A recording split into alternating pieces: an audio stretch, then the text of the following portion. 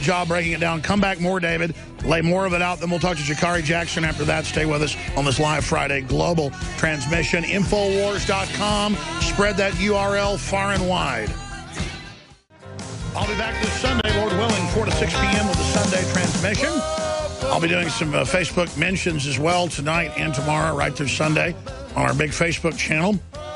David Knight's our guest. Jakari Jackson's also coming up. Jakari, I hope, can recap some of the amazing video reports they've been shooting on a host of issues. Uh, so really glad you guys are there covering it. I want to get back into this moment of world government, but separate from that, David, you've come down here to Texas, your wife, uh, your family. You're doing a great job. You know, I've told you about backup plans. If they try to come after me, I've kept you out of the whole business end of things for you and Paul Watson to fill my shoes. If they kill me or if they set me up, long before this, I knew stuff was going on. Uh, but I'm sure you may have read this morning and, and, and uh, perhaps seen a video uh, where Source, White House has FBI task force investigating InfoWars. I mean, they've got all these White House-run media outlets saying, you know, it's time to arrest me and stuff. Uh, so this just, and it's not just, I'm just a canary in the coal mine. They're going after people across the board, which shows we have power, which shows we're having an effect, which shows they need to not have any opposition to execute what they're about to do. It's a very reckless move. It's not like there hasn't been corruption in government before in this country, but it was smart enough to not go after vocal opposition in the middle of the sun, sunny day um, this is really getting to crazy town. Your take, David Knight. Well, Alex, that's very true. As I was listening to the uh, press conference where John Boehner resigned, and again, that's something that we've been pushing really hard for. He tried to put a brave face on it. One of the reporters said, uh, if you don't have anybody following you, you're not a leader, you're just somebody taking a walk. And that's the key. That's what we have to understand. When I look at all the people following the Pope, the government has a nine percent approval rating. We have a high. Exactly, it's illegitimate. Go ahead. Sorry. Well, when I look at all these people following the Pope, uh, to me, the big story is not the prepared speeches that the Pope is making. Yes, it's important that he's selling nonsense that the environment has rights. It would be laughable if we knew, if we didn't know that that was going to be taken literally and used against us. But the thing that gives him power are the people that follow him not knowing what the agenda is about.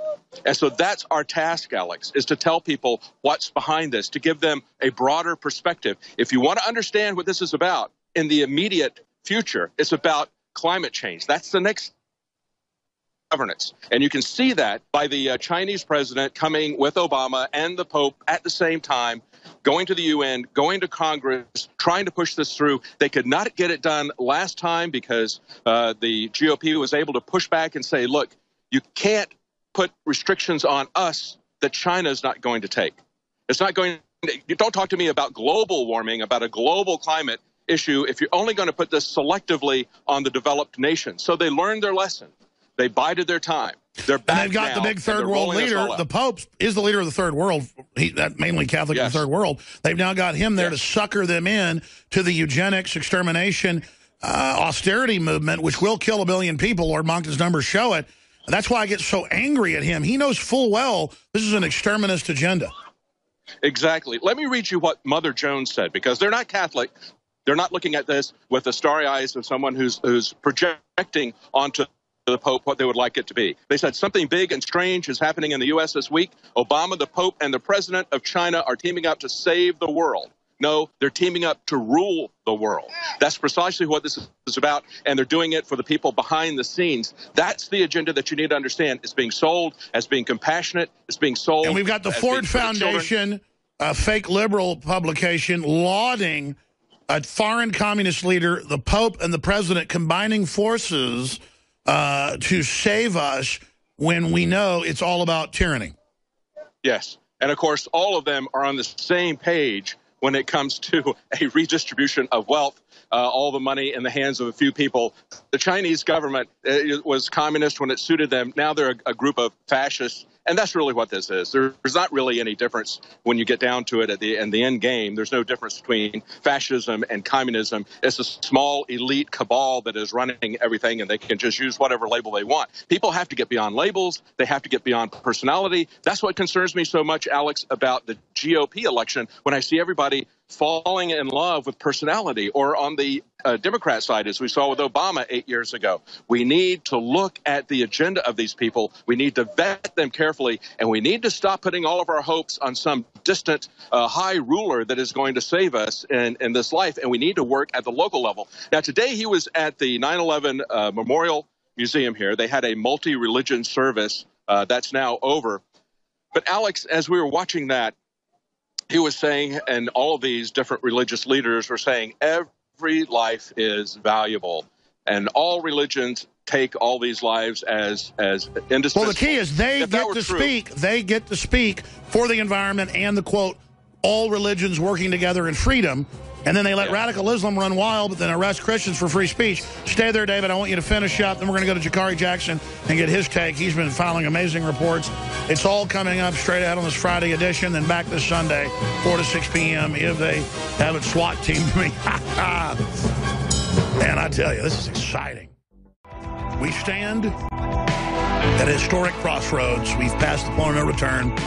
World government denied for so long, now out in the open. A pope calling for a one world religion. Major companies from Japan to Mexico, from the Netherlands to Chile are demanding their employees take chips to be able to enter the building. Cash is to be banned. World ID cards are being promoted. David Knight is our reporter on the ground uh, outside the World Trade Center. They were outside the UN earlier today. Jakari Jackson is going to give us his take on a bunch of issues in a moment. But David Knight, you were getting into this epic moment where they push the entire eugenics, transhumanist, animal rights movement that isn't about animal rights, but about government taking human liberty away in the name of animals, the end of private property. I mean, this is all happening with this fabulously rich pope uh, and Obama and the Chinese president lecturing everyone on austerity as they get ready to screw the people. In the past, governments tried to create prosperity to be popular. Now they sell us on how ugly we are and how great it is to be poor. This is truly a 1984 society, a world of being trampled and being trampled upon and trampling. Exactly, Alex. They're, they're telling you that they're going to stand for the environment, that the environment has rights, that animals have rights. This is the path to tyranny. They're going to be the ones who tell you how to protect the environment, how to protect the rights. It's just a, a beard. And of course, today what we saw was uh, essentially a world religion ceremony. Look, I know a lot of people look at this and they say, isn't it great that all these different religions could come together and agree that 9 11 was a bad thing? And I say, yes, it is. But that's not the way you get religious tolerance is by a by having a one world religion that says that we all worship the same God. That is, if you believe that you're a fool, if you tell people that you're a deceiver, the way to have tolerance of people is by something called the First Amendment. We solved that problem here in America once upon a time. We're about to undo that again because if you have a one world religion, there will be no tolerance for, your religion. If well, we already see Christians being religion. targeted under this liberal one world religion garbage. Yes. The only religion yes. being targeted is true Christianity. And and let me tell you, you know, the, the, Pope is very concerned about the Muslims who who died as part of the Hajj, you know, in in uh, in uh, Saudi Arabia, and there were over 700 people who died in a stampede. That has that's the seventh incident according to my count, since 1990. Over 3,000 people have died doing that. So it's happening over and over and over again. Yet the Pope will not criticize Islam for that. Do you think if there were 3,000 people shot in New York City by, by gunmen, you think he'd have something to say about that? He would blame the gun. He'd blame the gun culture. He's not blaming Islam or the Muslim culture for this repeated stampeding and death. It's, it's just what we're seeing here today with the with the one world religion. And I got to say, what is behind the stampeding? I mean, isn't it just Mecca's letting too many people in? The Saudis are letting too many people into that site at Medina. They have a ceremony the stoning of uh, Satan, and it gets them worked up into a fury, and uh, they have uh, people get stampeded because they start running over each other. It's a massive crowd, and the, just the lack of control. But I want to say this in terms of the preciousness of each life, because we heard that from all the different leaders of all these different religions today. If they really believe that, they would be standing at an abortion clinic because there are more children that are killed each day with an abortion than there were who people who died here on 9/11. We have a 9/11 every day at abortion clinics, but this Pope can't be bothered to say that. When I was standing uh, taking pictures, we got the motorcade coming in earlier this morning at the UN. I heard people talking around me, and one of them said, uh, "This guy is great. Every time this Pope talks, he makes people understand the plight of those who have less than them, and he did a great job." By not feeding the right wing pro lifers. You understand that? Feel sorry for people because they don't have as much money as you do, but don't feel sorry for them because they're having their life taken. That's the kind of calculus. Well, it's their religion. Guy, it's their religion. Yes. This is what yes. they're pushing. Yes. And he's spouting classical Marxism, and and then now all these leftists just love the Pope. See, they love a religion yes. that pushes yes. their idea because they're in a religion of collectivism that ends free will and ends language and makes you adopt their orthodox view of the world. Yes, absolutely. He had one other thing, too, I want to tell you, Alex, and that was when he met privately with the clergy. I believe it was a, a private meeting in Washington that this quote came out of. But he was talking to the church leaders that were there. And this is what he had to say to them. He said, uh, Many of you have suffered greatly in the not too distant past by having to bear the shame of some of your brothers who harmed and scandalized the church in the most vulnerable of her members. Did you catch that? The only thing he really had to say about the pedophile controversy within the Roman Catholic Church was, I'm sorry that some of you were embarrassed by being connected with that. He doesn't talk about the heinousness of this. And Alex, when I look at the way he didn't personalize people, it, he just said, "I'm yeah. sorry, it, it it it it embarrassed our thing." Yes, it embarrassed our institution. I'm sorry because you're part of the institution. But just like we see with the police, they don't purge the evildoers out of their midst. That is how you embrace corruption. That's how you propagate corruption. And I thought it was absolutely outrageous that that's the only thing that we've seen of that.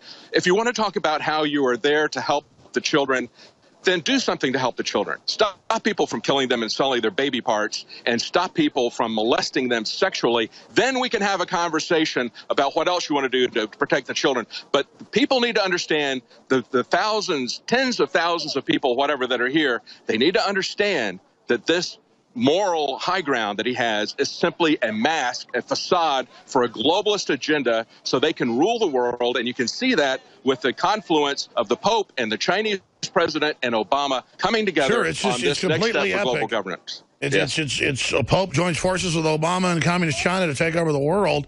This is a true axis of eugenics, a, a, a true axis of destroying um, any type of industrialization, clean industrialization around the world. Thank you so much uh, David Knight. Well, thank you, Alex. Thank and I, I, I want to say, I want to say too that uh, no matter what happens, I'm not going anywhere. Jakari's not going anywhere. We're standing with you, Alex. Well, I know our audiences as well, and you know this is from real sources, but they could also be telling these people this just to jerk our chain and, and knowing we'll say it so it'll scare the audience. But that's because they think we're cowards. Uh, we're not, uh, and, and we always just disclose what's going on. And we get all these secret documents, we get all these great sources, and we get all these whistleblowers because we're crazy enough to put it out. And I've been through a lot of persecution before this. It's been kind of quiet the last few years. And I know I go after the White House all the time, and I point out what a fraud they are and what liars they are. And, uh, you know, and I have Walter Jones and all these folks on trying to get the 28 pages released. And I go after the Saudis, yeah. and I go after, you know, you go after them. And, and we're really reaching over a billion people a month on social networks, hundreds of millions on the videos tens of millions every week on the websites and, and, and the radio show. And it just really, really scares them. And they understand, hey, we take this guy out, it'll make him a martyr. But if we don't, he just keeps getting bigger because everything he talked about, everything his people talked about is now out in the open. His credibility's going up. We can't just call him a kook who believes in Martians all day. And so, uh, you know, I said it. I told you privately. I said launching this network and making the system more serious and having the fancy sets and sending reporters out is going to really get their attention and is really going to have them, you know, do this. So we knew what we were doing. And I believe out of whatever comes of this, we're only going to reach more people and it's going to be more effective because everything that's been done to me, stuff people wouldn't believe, I'm not going to get into it, it's off record, has just suddenly when one door closes or something bad happens, all this good stuff happens. It's like angels come to our aid, the prayers, it is it is manifest destiny it is providence. And I'm just humbled to be part of this and to be in the middle of it and to see what's happening. That's why I tell you, the crew, you're part of something epic and big. I mean, a, month ago, they crunched the numbers and said, Alex, it's a bigger audience. You're using two-year-old numbers. Here's the audience. And we look at it with computerized graphs. I mean, it's epic big, and it's getting bigger.